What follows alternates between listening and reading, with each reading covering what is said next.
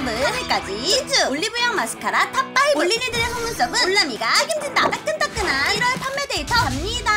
아 조심해 하트 역시 프리미엄은 달라 달라. 마스카라 장인 키스미가 단단히 준비한 역대급 high quality의 프리미엄 마스카라 long lash와 waterproof 기능을 슈퍼 업그레이드 했는데 눈가 케어 성분까지 듬뿍 담았다? 어떻게 사랑하지 않을 수 있겠어 처지는 거? 그게 뭔데? 번지는 거? 그거 어떻게 하는 건데? 뿌리부터 단단히 잡아줘서 볼륨은 높이고 짱짱한 고정력으로 번짐은 줄이고 3호 깔끔 컬링은 lifty hook 브러쉬로 꼬리 끝 속눈썹까지 터치해준대 페리페라 안 쓰는 거? 그거 어떻게 하는 거야? 이번 종착역 키스미 EX 키스미 EX입니다 돌고 돌아 결국 다시 찾는다는 기본템 키스미의 넘버원 마스카라 EX 초강력 컬링과 오래가는 지속력은 이 제품을 스테디셀러로 만들어준 1등 공신이라고. 올린이들 파우치에도 이거 있다. 맞지? 핑미 핑미 핑미요. 400명의 국민 브랜드 매니저가 입을 모아 극찬했다는 깔끔하지만 강한 컬링의 에뛰드 컬 픽스 마스카라. 가볍게 발리는데 24시간 탄탄하게 지속되고 waterproof 기능까지 싹 갖췄다고. 이게 바로 국민 마스카라 아니겠어? 곰손 올린이들이 구원할 대망의 1위 마스카라는